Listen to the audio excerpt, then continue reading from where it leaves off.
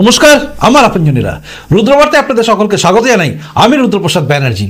যোগী আদিত্যনাথ, অর্থাৎ এই ভারতবর্ষের বুকে সেই মানুষটা যার দিকে বহু মানুষের নজর রয়েছে যে সে কি বলছে। আপনারা জানেন, একটা স্লোগান তিনি তুলেছিলেন যে, বাটেঙ্গে তো কাটেঙ্গে, এক রহেঙ্গে তো নেক রহেঙ্গে। এই স্লোগানটা আজকে সবকা সাথ, সবকা বিকাশ, এই স্লোগানকে ছাপিয়ে দিয়ে, দূরে সরিয়ে দিয়ে সবার মুখে ধ্বনিত হচ্ছে। এবং বিজেপি এই স্লোগানের উপর ভর করেই নির্বাচনগুলো এবার লড়ছে এবং আগামী দিনেও লড়বে। এইরকমই যখন পরিস্থিতি, যখন এই স্লোগানটাকে আটকানোর জন্য বা এই স্লোগানের বিরুদ্ধে কিছু বলতে না পেরে যখন এদিক সেদিক হাতড়ে বেড়াচ্ছে বিরোধীরা, যখন সবাই ভাবছে, আরে, এ তো হিন্দুদেরকে এক করে দিচ্ছে। ঠিক সেই মুহূর্তে যোগী আদিত্যনাথের কণ্ঠে আজ ধ্বনিত হলো আরও একটি স্লোগান। যে স্লোগানটা এবার কিন্তু ভয়ঙ্করভাবে স্প্রেড করবে এবং আশা করি আমি এরপরে নরেন্দ্র মোদীর কণ্ঠেও এই স্লোগান শোনা যাবে এবং দেশ জুড়ে এই স্লোগানটা উঠবে। এবার সবাই চিন্তায় আছেন কোন সে স্লোগান। চলুন, সেসব নিয়ে শুরু করা যাক এই মুহূর্তের রুদ্রবার্তা।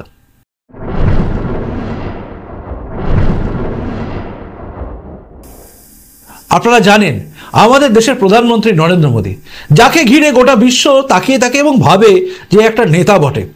সেই রকম একজন স্ট্র্যাচারের এত বড় একজন নেতা তারপরে যাকে কল্পনা করি আমরা, অর্থাৎ আপনি, আমি, আমাদের মতো আম পাবলিক এবং অনেকেই অনেকেই যারা সনাতন ধর্মকে ভালোবাসেন এবং যারা ভাবেন এনাফ ইস এনাফ অনেক হয়ে যাচ্ছে সেকুলারিজমের নাম করে আমাদেরকে দাবিয়ে রাখার বা দমিয়ে রাখার কথা বলছে, তাদের সবার নয়নমণি কিন্তু যোগী আদিত্যনাথ।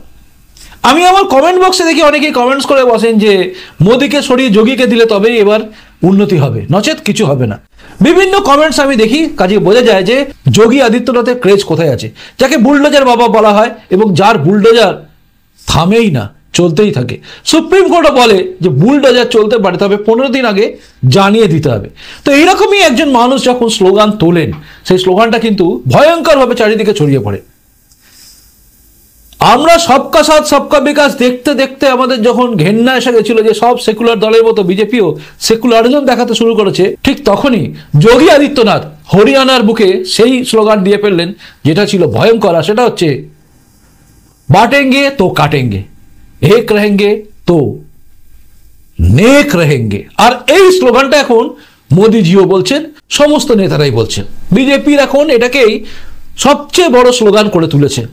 এরপরে আজ আজ তিনি একটি নির্বাচনী জনসভায় বলতে গিয়ে এমন একটা কথা বলেন যেটা এবারে পরবর্তী স্লোগান হতে চলেছে কি বলেছেন শুনুন बहनों और भाइयों हमारा तो एक ही कहना है आपसे जो राम का नहीं वो हमारे किसी काम का नहीं हमारी इस प्रेरणा तो एक ही बात को लेकर के है कि जाके प्रिय राम वेदे ही तजिए ताई कोटि पैरवी सम यद्यपि परम सने ही जो भगवान राम के प्रति श्रद्धावान नहीं, जो भगवान राम के प्रति श्रद्धा और भक्ति का भाव नहीं व्यक्त कर सकता है और भले ही आपका कितना नजदीकी मित्र हो, रिश्तेदार हो, सगा संबंधी हो, उसको वैसे ही छोड़ देना चाहिए, जैसे किसी दुश्मन को छोड़ा जाता है। শুনলেন? এটা এখন কিন্তু স্লোগান হতে চলেছে। অর্থাৎ জো রাম কা নেই ও আমারে কিছু কাম কা নেই অর্থাৎ, রামের যে নয় মানে যে রামকে মানে না বা রামের অস্তিত্বকে মানে না, যারা রামকে নিয়ে ছেলে খেলা করেছে, তারা যারা করে, যারা রামকে মানে না, যে রামের নয়, সে আমাদের কোনো কাজের নয়। তাকে বর্জন করো, তাকে শত্রুর মতো দেখো। একদম পরিষ্কার করে তিনি বলে দিলেন। সংস্কৃত শ্লোক উদ্ধৃত করে তিনি তার মানে করে বুঝিয়ে দিয়েছেন যে যে রামে নয়, সে আপনার আত্মীয় স্বজন হোক বা যেই হোক, সে আপনার কেউ নয়। আর এটার দিকে কিন্তু এবার এগোবে গোটা ভারতবর্ষের বুকে থাকা বিজেপি এবং সনাতনীরা। কারণ সবাই ধরে নিয়েছে। এবার আপনি বলবেন নিশ্চয়ই, আরে রামকে তো আমি পুজো করি না, আমি তো মা কালীকে পুজো করি। মা কালী বলুন বা যাই বলুন, আসলে হচ্ছে ঈশ্বর সাধনা। আপনি মানেন যাকে। আপনি মা কালীকে মানেন, মা দুর্গাকে মানেন, যাকেই মানুন, রামচন্দ্রকে আপনি মানেন না, এটা হতে পারে না। কারণ আমরা বাঙালিরাও রামকে মানি। তাই রাম রাজাতলা হাওড়ার বুকে একটা স্টেশনের নাম হয় এবং সেখানে রাম পুজো দীর্ঘদিন ধরে হয়ে আসে। কাজে রাম বহিরাগত কেউ নয়। আর যে দুর্গাপুজোটা আমরা করি, অকাল বোধন সেটাও স্বয়ং শ্রী রামচন্দ্র করেছিলেন রাবণকে বধ করার জন্য। আমি বানিয়ে বলছি না, আপনারা দেখে নেবেন, সব খুঁজে নেবেন, রামায়ণ থেকে শুরু করে সব কিছু খুঁজে দেখে নেবেন, তারপর যদি মনে আমি ভুল বলেছি, গালাগালি দেবেন। তো এই যে রাম, যে রামের নয়, সে কারণ নয়। আপনারা জানেন অযোধ্যা রাম মন্দির। সেই মন্দির, রাম মন্দির যাতে না হয়, তার জন্য কতগুলো দল সবাই একত্রিত হয়েছিল। রাম মন্দির যেদিন উদ্বোধন হয়, সেদিন এই রাজ্যের মুখ্যমন্ত্রীও কিন্তু বিরূপ প্রতিক্রিয়া দিয়েছিলেন। অর্থাৎ তিনিও এর মধ্যে নেই। কেউ যায়নি। কেউ যায়নি রাম মন্দির উদ্বোধন দেখতে। বা সেখানে। কারণ কারণ হচ্ছে সেকুলারিজম দেখাতে হবে। অর্থাৎ সমস্ত ঠেকা, এই হিন্দু যে সমস্ত নেতা নেত্রী আছে, তারা নিয়ে বসে আছে। অর্থাৎ তারা সেকুলারিজম দেখাতে গিয়ে আমাদের ধর্মকে ছোট করেছে। আর এখানে দাঁড়িয়ে প্রশ্ন হচ্ছে যে রামের নয়, সে আমাদের কি করে হবে? আমাদের কিন্তু ধীরে ধীরে একটা জায়গায় মেরুকরণ হচ্ছেই এবং সেই মেরুকরণটা স্পষ্ট যে যারা ধর্মের পথে আছে, যারা সনাতনের পথে আছে, তাদের সঙ্গে যারা আছে, আমরা তাদের সঙ্গে আছি। আর এটা হওয়া উচিত, কারণ পাশের দেশ বাংলাদেশ আপনারা দেখছেন। বাংলাদেশে যখন হিন্দুদের সংখ্যা একটু বেশি ছিল, ততদিন পর্যন্ত বাংলাদেশটা সেকুলার ছিল। যেই মুহূর্তে কমতে কমতে আজকে একদম শেষের দিকে দশ পার্সেন্ট হয়ে গেছে ইউনুস। যে ইউনুস শান্তির জন্য নোবেল পুরস্কার পেয়েছে, সেই ইউনুস ঘোষণা করছে যে বাংলাদেশ আর সেকুলার কান্ট্রি নয়। ভাববেন? গণতান্ত্রিক দেশ শেষ হয়ে যাচ্ছে, শেষ হয়ে গিয়ে আসছে ইসলামিক কান্ট্রি এগুলো আপনাকে বুঝতে হবে, ইতিহাসের পরিপ্রেক্ষিতে শুধুমাত্র দেশ নয়, বিদেশে কি হচ্ছে সেগুলো দেখতে হবে, জানতে হবে, বুঝতে হবে। মিশর মিশরে নিজস্ব ধর্ম ছিল, সেই ধর্ম শেষ। সেখানে ইসলামিক কান্ট্রি হয়ে গেছে। সব জায়গায় এভাবে বিস্তার লাভ করছে এবং সেখানে দাঁড়িয়ে আমাদের একত্রিত হতে হবে। এটা কিন্তু হুঙ্কার নয়, এটা একটা আওয়াজ। যে আওয়াজটা যে আওয়াজটা সমস্ত সনাতনী কণ্ঠে ধ্বনিত হওয়ার দরকার। যে রাম কানেই, ও আমার কিছু কাম কানেই। আরেকটা কথা বলি।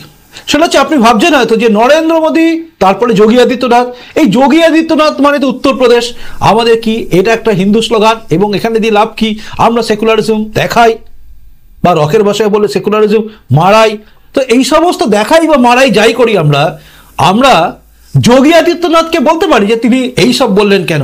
কিন্তু যোগী আদিত্যনাথের আরেকটা বক্তব্য, যে বক্তব্যটা শুনলে এই রাজ্যে আর কার কি হবে জানি না, তবে অভয়ের মা বাবা অনেকটা আশা পাবেন যে এইরকম একটা মুখ্যমন্ত্রী যদি আমাদের রাজ্যে থাকতো তাহলে ভালো হতো কেন জানেন যোগী আদিত্যনাথ কি বলেছে জানেন এই জনসভায় দাঁড়িয়ে শুন मैं आपसे पूछना चाहता हूं अयोध्या में जब एक निषाद बेटी के साथ क्या कुछ घटना घटित की थी समाजवादी पार्टी के गुंडों ने और तब भी समाजवादी पार्टी के नेता और उनके राष्ट्रीय अध्यक्ष उसकी दलील दे रहे थे बहन और भाइयों, बेटी तो सबकी होती है। बेटी के साथ अगर कोई इस प्रकार का जुर्म करेगा, इस प्रकार का अत्याचार करेगा तो हमारा तो संकल्प ही है कि उस दुष्कर्मी के लिए फिर जगह नहीं, उसकी जगह केवल और केवल जहन्नुम में हो सकती है, बाकी उसके लिए कोई जगह नहीं हो सकती।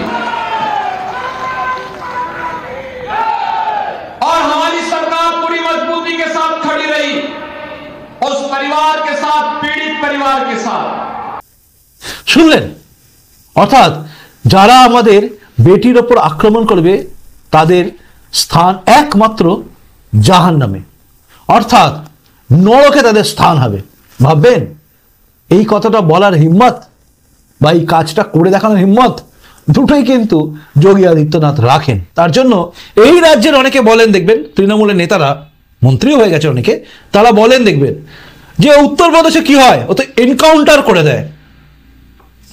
হ্যাঁ করে। ফলস এনকাউন্টার কি এনকাউন্টার ফেক এনকাউন্টার এসব আমরা জানি না। এনকাউন্টার হয়। যেমন আমরা জানি না, এখানে কিষেনজি এনকাউন্টারে মারা গেছিল? নাকি ফেক এনকাউন্টার ছিল? এটাও প্রশ্ন। এই সমস্ত প্রশ্ন ঘুরপাক খায়। কিন্তু যখন দরকার সেটা হয়। আজকে অভয়া কাণ্ড, যে কাণ্ড নিয়ে সবাই আমরা অপেক্ষা করে আছি, বিচার কবে হবে? যোগী রাজ্য হলে কি হতো? সঞ্জয় রায় হাঁটুতে গুলি লাগতো। সঞ্জয় রায় হুড়মুড় করে বলে দিত আর কে কে ছিল। জড়িত কি জড়িত নয়। আজ সঞ্জয় রায় চিৎকার করে করে বলছে যে, আমাকে ফাঁসানো হয়েছে, আমাকে ফাঁসানো হয়েছে। এতদিন সময় যেত না। কারণ গুলিটা হাঁটুর নিচে লাগলে হুড়মুড় করে মুখ দিয়ে কথা বেরোতো যে কে কে ছিল। এবং জানা যেত এবং তারপরে হয়তো অন্য কিছু হতো, কারণ যে জড়িত সে বাঁচতো বলে আমার মনে হয় না। কারণ এরকম অনেক ঘটনা উত্তরপ্রদেশে দেখতে পাই, যেখানে দাঁড়িয়ে যোগীর কথা একদম পরিষ্কার যে, যারা বেটির ওপর অত্যাচার করবে, তাদের স্থান জাহান নামে ওপরে না জাহান নামে নিচে। তো এইটা হচ্ছে পরিষ্কার সত্যি কথা। নরকের স্থান হবে তাদের। এই হচ্ছেন যোগী আদিত্যনাথ। তো যোগী আদিত্যনাথের কথাটা আপনার কি মনে হয়? এবার এই স্লোগানটার দিকে আপনার মনে হচ্ছে না যে যাওয়া উচিত? যে জোরাম কেন ও কিসি কাম কেন মানে হামারে কিসি কাম কা নেই ঠিক কি না? কি ভাবছেন? যোগী আদিত্যনাথের এই স্লোগান এরপরে কি হিট করবে নাকি করবে না ভাবছেন? আপনার কি মনে হয় এই স্লোগানটা সামনে আসা উচিত? নাকি উচিত নয়? যদি ভাবেন যে হ্যাঁ এই স্লোগানটা সামনে আসা উচিত, মনে রাখবেন এটা কিন্তু মাত্র দশ মিনিট আগে মানে আমি যখন প্রতিবেদন করতে বসছি, তার দশ মিনিট আগে তিনি বক্তব্যটা রেখেছেন মানে একদম কারেন্ট আমি আপনাদের সামনে নিয়ে এসে দিলাম। এবার আপনার চিন্তা, এটাকে আপনি শেয়ার করবেন কি করবেন না? যদি শেয়ার করেন, যদি মনে হয় হ্যাঁ ঠিক বলেছে, তাহলে আপনি শেয়ার করুন। এবং শেয়ার করুন মাত্র একশো জনকে, আর কাউকে না। শেয়ার করুন, তাহলে মানুষ জানবে, মানুষ বুঝবে যে হ্যাঁ আগামী দিনে এই রাস্তাতেই যাওয়া উচিত বিজেপির এবং এটাই রাস্তা। কারণ সবাই চাইছে এটাই। আমরা ইউনাইটেড না হলে কিন্তু বিজেপিও আমাদের দিকে তাকাবে না। তাই আমাদের সনাতনীদের একত্রিত হতে হবে। মনে রাখবেন, ডোনাল্ড ট্রাম্প, আমি বারবার উদাহরণ দিই, প্রতিটা প্রতিবেদনে বলি, ডোনাল্ড ট্রাম্প কিন্তু হিন্দুদেরকে মেনে চলেন। কারণ হচ্ছে হিন্দুরা ইউনাইটেড হয়ে ডোনাল্ড ট্রাম্পকে ভোট দিয়েছিল। আর আমরা যদি ইউনাইটেড হই, তাহলে সবাই আমাদের কথা শুনবে। এটা মাথায় রাখবেন। তাই আমাদের একত্রিত হতে হবে এবং আমাদের বোঝাতে হবে যে হ্যাঁ এটাই ঠিক। যে রাম কা নেই ও আমার কিছু কাম কা নেই ঠিক কিনা? কমেন্ট বক্সে কমেন্ট করে জানান। বলুন আপনি কি ভাবছেন? আর অপেক্ষা করুন পরবর্তী প্রতিবেদন দেখার জন্য। অবশ্যই দেখা হচ্ছে আপনার সঙ্গে পরবর্তী প্রতিবেদনে। আর হ্যাঁ অবশ্যই রুদ্রবার্তা টুডে চ্যানেলটা দেখবেন এবং সাবস্ক্রাইব করবেন। কারণ ওখানে কিন্তু এই রাজ্য এবং রাজনীতি নিয়ে অনেক কিছু আলোচনা হয়। ভালো থাকুন, পাশে থাকুন আমার আপন আপনজনে। দেখা হচ্ছে এরপরে রুদ্রবার্তাতেই। নমস্কার বন্দে মাতা ভারত মাতা, জয় হোক। জয় হিন্দ।